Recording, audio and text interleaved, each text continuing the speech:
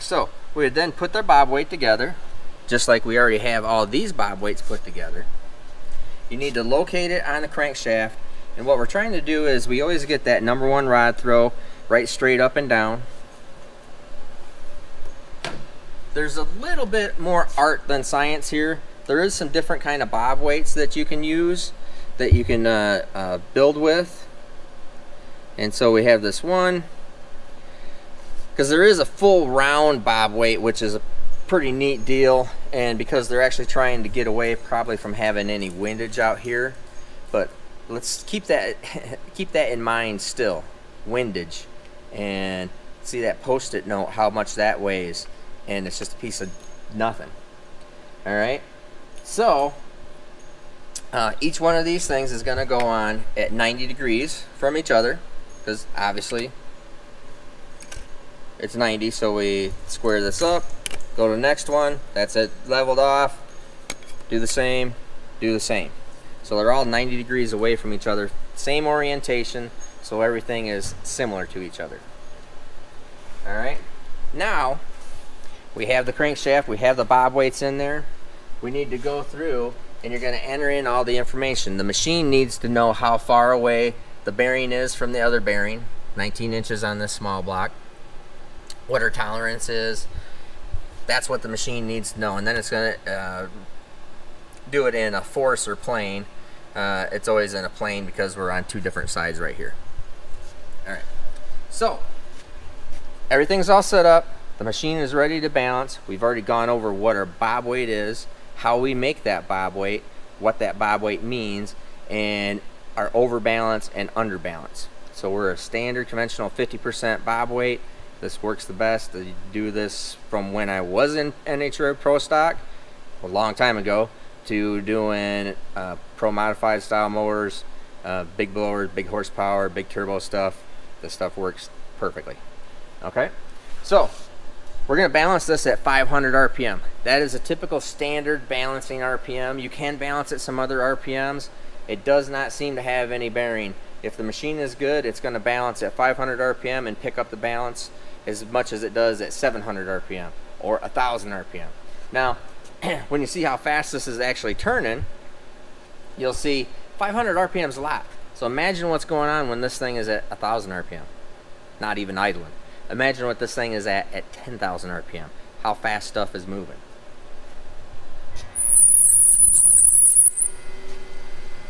So this is at 500 RPM. What the machine is now doing is there's load sensors that are in each one of these columns. So it is picking up any type of vibration, any kind of movement that is uh, outside its range, then it measures that.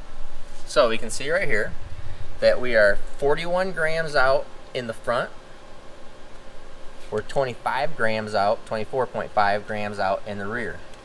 Now, it's also, this is a position indicator that's telling us what position we need to be at. So we come up here and we're gonna do uh, add, because I know it needs to be added to. All positions are at 12 o'clock. So straight up and down is where it's giving you the calculation at, or straight down below, because the load sensor is right there. All right. So we come over here. It says, yep, I want to add 41 grams, 41.4 grams at this position, which is right here at the exact 12 or 12 uh, spot. Now, because this crankshaft was already balanced, it's a used crankshaft that we're changing the piston uh, piston into. We're, and you can see that all we did was change piston. So whenever this was balanced from before, there was actually a 20, almost a 20 gram difference front to rear because our pistons are all the way the same. We're using the exact same connecting rod, everything he already had. So it should have been the same front to rear. So whoever did the balance on it before was 20 grams off front to rear. So what we want to do is we're going to add weight and since it's really hard to figure out how to add weight, if it was asking us to remove weight, we'd come over here to the drill, we would come right to the spot, we would machine a nice hole, sneak up on it, get close, come back over here, get close, come back over here, get closer, come back over here, get closer yet. Uh, or we can put it up in a lathe and we can do uh, balance the counterweight by machining all the counterweight. Uh, we can machine uh, inside this hole here, this uh, this plane, this plane, or this plane. Doesn't really it. This plane does the most. This plane does the least. Now this is all also uh, very few things in the world are externally balanced anymore. All good race engine stuff is always internally balanced, so we don't have to have the balancer. We don't have to have the flywheel or flex plate out here. Um, those things are neutral balance, which means uh, good quality stuff is always uh, no weight to it. It is uh, it's perfectly balanced. It's just a round piece of machined material for the, flex plate. It's a round piece of machined uh, on a lathe uh, balancer. There's no sense even putting it on here. You can if you want to. There's nothing wrong with doing that. But we never remove or add material on the balancer or the flex plate. You always do it in the crankshaft because we want to be able to change the balancer. We want to be able to change the flex plate without having it be go in and rebalance everything. So that's why you always do all your balancing in the crankshaft, not on the flex plate, not on the flywheel, not on the balancer. We want to be able to just interchange those. That's why zero weight stuff, internally balanced, is all interchangeable.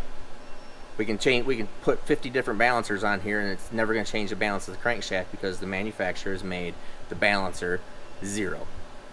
Okay, so we know that now that we've made our bob weights, we've spun this up. We are now going to start making our correction. And since this thing is asking us to add weight, we can't just easily do that and sneak up on it. So I like to simulate it by just a simple little thing like this. What this material is that you see right here, these uh, little different color. Now this is used, so these were already in there. There's one here. That's called Mallory metal. Now Mallory metal, or heavy metal, is heavier than what the steel is, by quite a bit. There's some charts and we have everything to figure that all out, but if we need to add metal, we don't weld on stuff. We don't weld pieces in there and do all that's a lower end way of doing things. So what we always do is we have to take we simulate what weight needs to be there. We'll show you the simulation. So this is 40 grams and we're calling for uh, 41 and a half grams. Let's add here, see what this does. That's 44. I think we're gonna actually just test it with this first and I can show you what it's gonna be. So we're gonna put 40.6 grams right where it's asking us to, right where we would end up machining a different piece of round Mallory metal that will press into this crankshaft and it presses in this way. Impossible for any weight to come out as the crankshaft's rotating around if it is pressed in from the side. Now if somebody comes in here and they just weld a hole shut, uh, a lot of times what will happen or can happen is that thing will actually, uh, I've seen pieces of weld fly off of it from the centrifugal force, fly off of it, shoot through the oil pan and oil down your track. I.e. oil down tires, probably put you in a guardrail.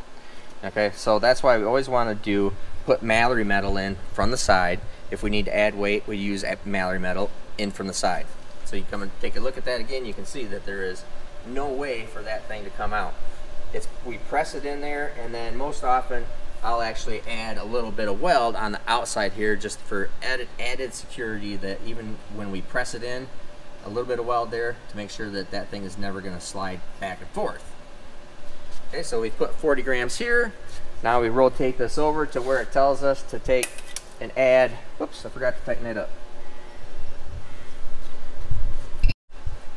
All right, this time I remembered to tighten the thing back up.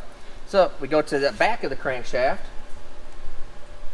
go to where it's telling us to put it, right there.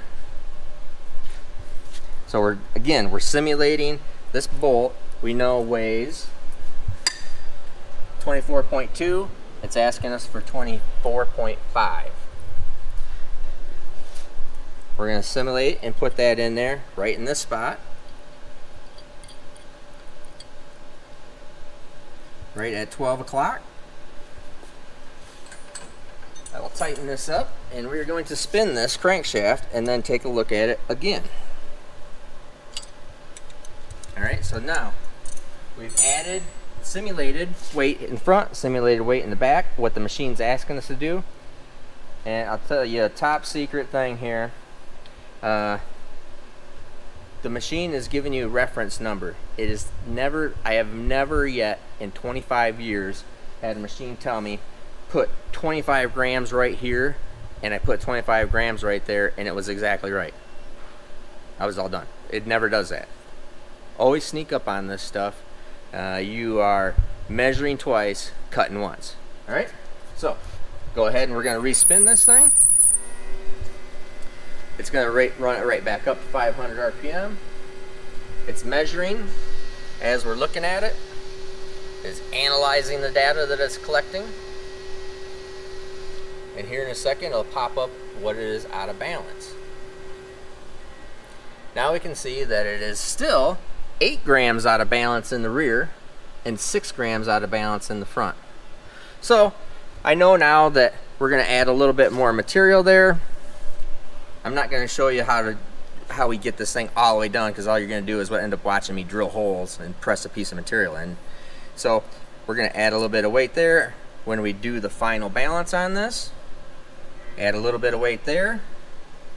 Then we have to respin it all up after we put the final piece in there, after we TIG it in, after everything's there. Then we have to come in and do it all over again and check this thing all out. Now, one last thing. So we've gone through a bob weight. We've gone through how you balance that crankshaft, what the numbers all mean. Uh, this 8 grams and 6 grams. Remember me talking about this piece of paper weighing 8 gram or weighing a gram basically? This stupid post-it note. Let me ask you, what do you, and, and we know that we can put an overbalance in it or underbalance in it, which was going to be about 20 grams either way. Do you really think this will probably get everybody's panties in a bunch that are overthinkers that work at uh, AutoZone and don't actually build engines or whatever they do? Uh, do you think that really matters? I'm here to tell you, it don't. You know what's going on inside this crankshaft and inside the crankcase when there's oil flat splashing around, oil coming through the connecting rod, getting shed off, all the windage, everything that's all there. It is a pretty amazing deal. So we can just put the, I was gonna actually show you something there with like even just spraying this thing down with oil. It just, everything changes. So we're doing, this is the pragmatic way of doing things. I'm showing you not just theory of what's supposed to be doing of what's supposed to be done. I'm showing you this stuff works because we do it every day. I prove it out all the time. So I want to help you always understand how things actually work and how things are actually done. So anyways, that's how this all works and how balancing works. What you're looking for, if you have any other questions, but this this should give you a good idea of what uh, you know, when we have to take this crankshaft in and out of the machine a couple times, prices go up to put Mallory metal in, to put that heavy metal in. If it's a quick, easy balance job, only takes us maybe an hour or two hours at the most. Uh, big balance jobs like this, where we're taking Mallory metal in and out, it could take a few hours in order to get this thing right. So that's why it costs a lot more too. So anyways, I think you got a real good idea of how balancing works. I'm Steve at Steve Tech. Take her easy.